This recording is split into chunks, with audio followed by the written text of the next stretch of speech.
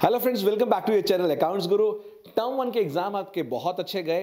कुछ पेपर्स अगर खराब हुए भी हैं तो डोंट वरी मॉडरेशन में कवर हो जाएगा। चिंता कीजिए, अब जो आने वाले महीने हैं, हमारे जैन और February let me tell you आपको लग रहा होगा वो 60 डेज़ काफ़ी हैं सफिशिएंट है। लगभग लगभग अगर accountancy business studies economics maths की बात करें या पाँचों सब्जेक्ट की बात करें तो रफली 30 चैप्टर्स बनते हैं सभी सब्जेक्ट्स को मिला के।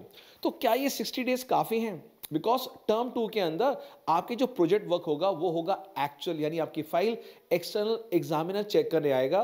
और हो सकता है प्रैक्टिकल पेपर जो सिक्स मार्क का अभी बचा है, वो भी आपका कंडक्ट किया जाए। तो यानी 15 फरवरी के बाद ये सब सिलसिला चालू हो जाएगा बोर्ड प्रैक्टिकल्स का। तो वी हैव 45 डेज़ यानी 31 डेज़ जैन के और 15 दिन फेब के, और दिसंबर के तो आप जानते ही हैं, मस्ती में टाइम बीत रहा है, अभी आप रिलैक्स हैं। तो मेरे लिए माने तो सिर्फ़ फिफ्टी डेज़ बचे हैं, उन सभी पाँचों सब्जेक्ट्स के लगभग थर्टी चैप्टर्स करने के लिए और अकाउंटेंसी की बात करें तो टर्म टू में है, ये है सिक्स चैप्टर जो आज डिस्कस करूँगा। लेकिन टर्म वन के कंपैरिजन में अगर टर्म टू को देखें तो ऐसी क्या क्या चीज़ें हैं जो आपको बदलनी है? बिकॉज़ लास्ट सिक्स मंथ जो हमने पढ़ा, उसका एग्जामिनेशन हमारा हुआ एमसीक्यू बेस पे। यानी आपको एक रोल दिया गया था, उस रोल के थ्रू आपने बहुत अच्छा परफॉर्म किया। बट अब आपको रोल मिल रहा है अलग। यानी अगर मूवी की भाषा में बात करूँ तो अभी तक आप Ajay Devgan angry young man की तरह काम कर रहे थे या अमिताभ बच्चन की बात करूँ तो एंग्री यंग मैन बट अचानक से आपका रोल चेंज कर दिया गया और अजय देवगन को कहा कि अब आपको गोलमाल की कॉमेडी करनी है। So definitely you have to transform yourself you have to evolve yourself वो होने वाला है आपके साथ, क्योंकि टर्म टू के अंदर, इन दो महीने के अंदर कंप्लीट चेंज करना है आपको और मुझे और हमारे सभी मेंटर्स को जो आपको पढ़ा रहे हैं। यानी अब जो बात रहेगी टर्म टू के अंदर, वो प्लानिंग आपको करनी है आज बहुत ही अमेजिंग ढंग से बिकॉज़ आई होप थकावट उतर चुकी है और अब आप टर्म टू के लिए सुनने के लिए तैयार हैं।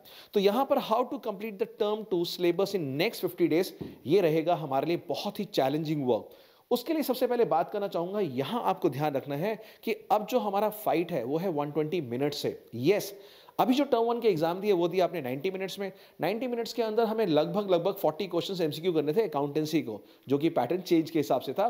बट अब इसके अंदर हो सकता है लगभग 11 से लेके 15 क्वेश्चन सब्जेक्टिव पेपर बन के आ जाए, जिसमें कि बड़े क्वेश्चन भी होंगे, यानी eight marker six marker four marker even three marker भी आप एक्सपेक्ट एक्सपेक्ट कर सकते हैं, जैसे कि एनपीओ में होता है। तो यहाँ पर उस दो घंटे के अंदर आपको थ्योरी प्लस सब्जेक्टिव पैटर्न को कैसे हैंडल करना है, ये 60 डेज़ बहुत सीरियसली आपने सुनना है। अगर आपको ये टू आवर्स की प्रैक्टिस और पेपर्स करने के बाद जो कॉन्फिडेंस आएगा, वो तभी होगा जब कम से कम आठ से दस पेपर आप कर लेंगे और वो मॉक पेपर्स मैं आपको करवाऊँगा यहीं इसी चैनल अकाउंट्स ग्रुप पे। उसके बाद बात आती है सब्जेक्टिव यानी अभी तक आप एमसीक्यू में क्या कर रहे थे? कॉन्सेप्ट बेस्ड क्वेश्चन यानी कुछ ऐसे ऐसे कॉन्सेप्ट आपने पढ़े शेयर्स चैप्टर के अंदर जहाँ हम आपको बोलते थे कैपिटल रिज़र्व गिवन था फाइंड द रीइशू प्राइस या बात करें अगर हम सैक्रिफाइसिंग uh, रेशियो की वो गिवन होता था रिवर्स गेट डाल के आपको ओल्ड रेशियो न्यू रेशियो पूछते थे. या फिर जो प्रीमियम ऑफ़ गुडविल है वहाँ मेंशन करते थे सेक्रीफाइसिंग रेशियो पूछते थे इसके बेस पे आप न्यू रेशियो निकालो. बात करें बाकी चैप्टर्स की फंडामेंटल की या एडमिशन ऑफ़ अ पार्टनर की, वहाँ रीवेल प्रॉफिट और लॉस दे देते थे और एक मिसिंग फिगर निकाली थी किसी एसेट की इंक्रीज या डिक्रीज वैल्यू या फिर उनकी रिवाइज वैल्यू यानी अभी तक आपने क्वेश्चन सिर्फ़ रफ सॉल्व किए और सीधा आंसर टिक किया। बट यहाँ पर आपको अब नंबर ऑफ़ मार्क्स के हिसाब से कितने मिनट्स में वो क्वेश्चन होना है, वो आपको तय करना है। यानी एग्जांपल, रफ आइडिया हम कहते हैं, वन मार्क का क्वेश्चन दो मिनट में होना चाहिए। तो क्या आप इतनी सब्जेक्टिव की प्रैक्टिस कर लेंगे? आने वाले बच्चे में सिर्फ़ सिक्सटी डेज़ में वो एक फाइट रहेगी तो उसमें जितनी जल्दी हो मोल्ड होना बहुत ज़रूरी है।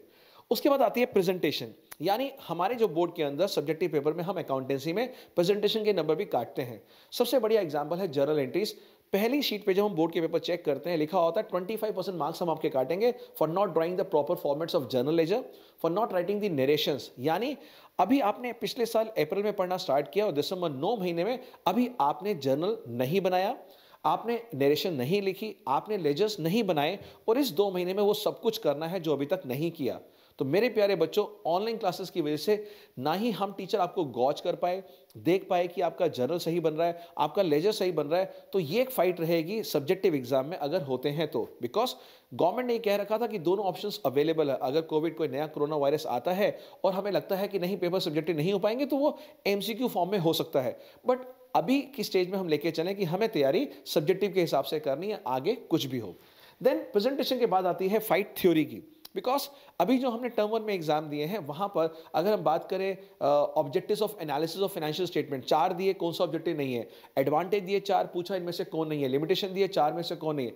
यानी आपको पहले से गिवन था, याद कुछ नहीं करना था बट अब आपको डिजोल्यूशन के अंदर सेक्शन 48 की बात करूँ तो याद करना पड़ेगा।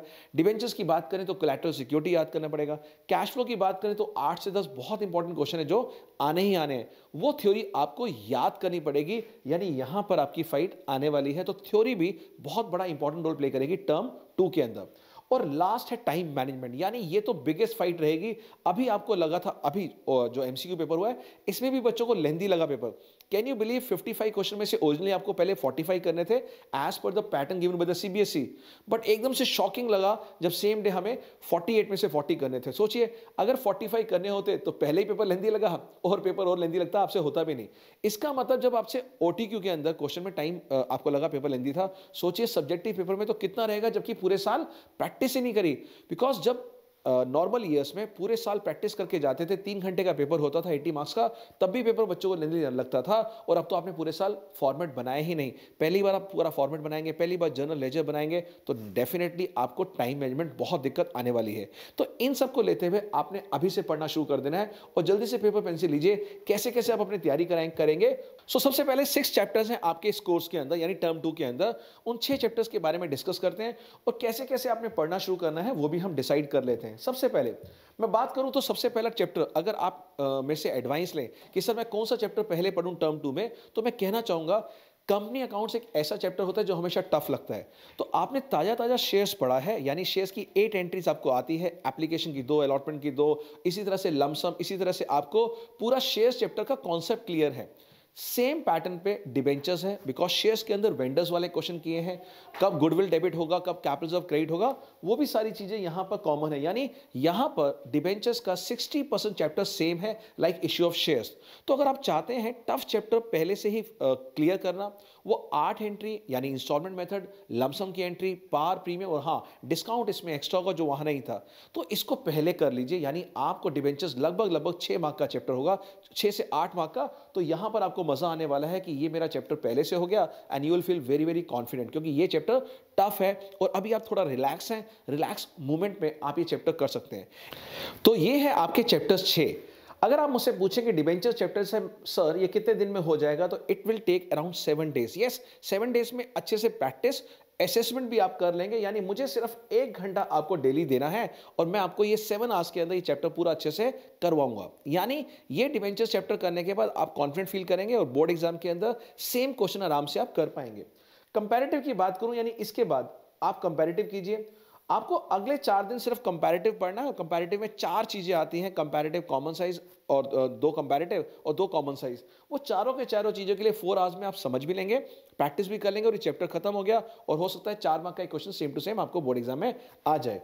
उसके बाद बात आती है सबसे मुश्किल चैप्टर। अगर जब भी मैं वर्कशॉप में जाता हूँ तो मेरे से पहली चीज़ ये पूछी जाती है कि, सर कैश फ्लो स्टेटमेंट हमें नहीं आता बिकॉज़ इसके अंदर पूरा फॉर्मेट याद करना पड़ता है।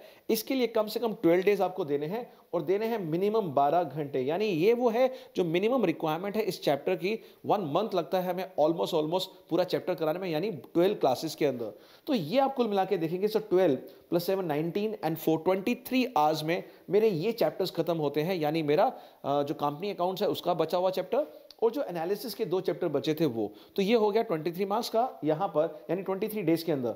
12 और two six twelve four sixteen and seven यानी 23 थ्री आवर्स में। तो so, ये 23 थ्री आवर्स में आपका ये पोर्शन खत्म हो जाता है और फिर चलिए देखते हैं retirement and death of a partner ये कहना चाहूँगा थोड़ा सा लेटर स्टेज पे बिकॉज़ अभी इनिशियल इस 23 डेज़ में अगर आप ये टफ चैप्टर्स क्लियर कर लेते हैं तो अब आपके पास बचेंगे वो चैप्टर इजी इजी जो आपको एडमिशन आप पहले कर चुके हैं। बिकॉज़ यहाँ पर new ratio gaining ratio revaluation account partners capital account आप बहुत आसानी से कर लेंगे और इसके लिए मैं सिर्फ़ और सिर्फ़ इन दोनों चैप्टर्स के लिए एट डेज़ दूँगा, यानी eight hours yes eight hours में ये पूरे के पूरे चैप्टर बिकॉज़ डेथ में कुछ भी नहीं है, सिर्फ़ एक छोटा सा प्रॉफिट निकालना है डिज़ीज़ पार्टनर का। देन बात करते हैं डिजोल्यूशन ऑफ़ पार्टनरशिप फॉर्म की। ये बहुत ही एक तरह से समझने का और रट्टाफिकेशन का चैप्टर है। आपको एंट्रीज बस समझ के याद करनी है। एट डेज़ यानी मुझे चाहिए आपके इसमें सिर्फ़ एट आवर्स फाइन और लास्ट जो last but not the least आप पूछेंगे सर ये not for profit organization chapter आपने सबसे लास्ट में क्यों रखा बिकॉज़ जिस तरह से इलेवन क्लास में फाइनल अकाउंट सबसे लास्ट में आपको याद होगा सबसे कॉम्प्रिहेंसिव क्वेश्चन आते हैं बहुत सारी एडजस्टमेंट्स होती हैं इसीलिए मैंने इसको सबसे लास्ट में रखा है और इसके लिए मैंने दिए हैं इलेवन डेज़ यानी इलेवन आवर्स 11 घंटे के अंदर भी चैप्टर में मास्टरी कर सकते हैं आप, क्योंकि आप इलेवंथ में फाइनल अकाउंट्स कर चुके हैं, वहाँ का लास्ट चैप्टर और यहाँ का लास्ट अगर आप देखेंगे बिल्कुल सिमिलर है एडजस्टमेंट दो जगह आएँगी। और ये भी चैप्टर जो है बहुत इंपॉर्टेंट है टेन मार्क्स का है। तो कुल मिला अगर आप देखें तो यहाँ मुझे आपको फिफ्टी डेज़ में अगला टारगेट है 50 आवर्स में ये सारे चैप्टर्स कराने का, और जो कि मैं आने वाले सेशंस में आपके साथ करवाऊँगा। तो क्या आप चाहते हैं इस बहुत ही सिस्टमैटिक तरीके से तैयारी करना? चाहते हैं तो डू लाइक सब्सक्राइब और कमेंट बॉक्स में लिखिए कि yes sir we are ready for these six chapters इसी तरह से बिज़नेस स्टडीज़ में सिक्स चैप्टर्स आपके पास हैं स्टाफिंग डायरेक्टिंग कंट्रोलिंग है फाइनेंशियल मार्केट फाइनेंशियल मैनेजमेंट्स है, और आपका सीपीए इसी तरह से इकोनॉमिक्स के अंदर तो सभी तीनों सब्जेक्ट्स का लेके आ रहे हैं। हमारे चैनल अकाउंट्स ग्रुप पे एक पूरा पूरा कॉम्प्रिहेंसिव प्लान तो बनिए रहेगा हमारे साथ।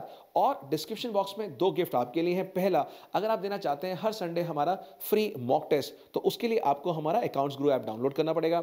और टेलीग्राम चैनल है अकाउंट्स ग्रुप वहाँ पे latest update about my webinars and live session ये दोनों आपको मिल जाएँगे। फाइन तो ये स्मार्ट प्लानिंग थी, किस तरह से हम फिफ्टी आवर्स में खत्म करने वाले हैं आने वाले टाइम में, पूरा टर्म टू का अकाउंटेंसी का syllabus same with the business studies same with the economics तो मेरे प्यारे बच्चों आई होप तैयारी अच्छी है, थकावट उतर चुकी है।